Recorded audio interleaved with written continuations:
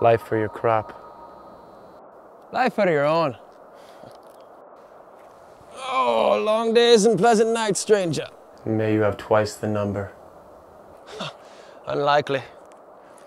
I don't have no but corn and beans. Corn's free, but you'll have to kick something in for the beans. A man brings them out once in a while. He don't stay long. Afraid of spirits. Afraid of the Birdman, too. I saw him. The Birdman, I mean. He fled me.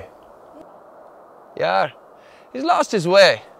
Claims to be looking for a place called Algul Siento, only sometimes calls it Blue Haven or Heaven. I can't make out which. Has thee heard of it? Hmm.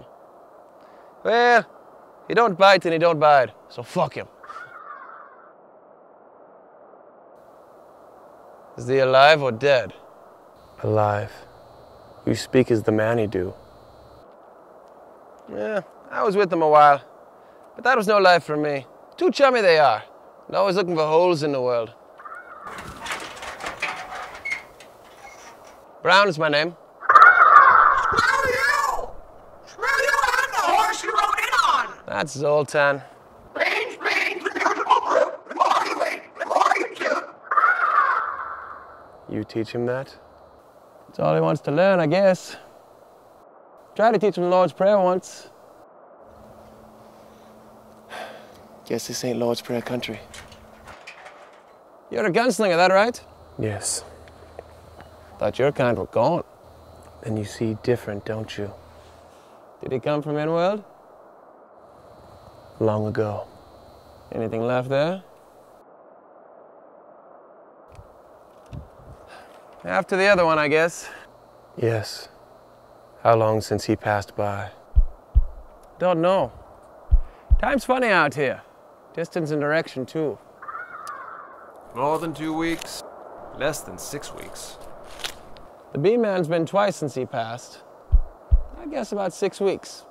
It's probably wrong. Did he lay by? He stayed supper. Same as you will, I guess. We passed the time. What did he talk about? Not much. Did it ever rain? When did I come here? Had I buried my wife? He asked if she was of the Manni folk, and I said yar because it seemed like he already knew. I did most of the talking, which ain't usual. He's a sorcerer, ain't he? Among other things. I knew. He dropped a rabbit right from his sleeve, all gutted and ready for the pot. Are you? A sorcerer? I'm just a man. You'll never catch him. I'll catch him.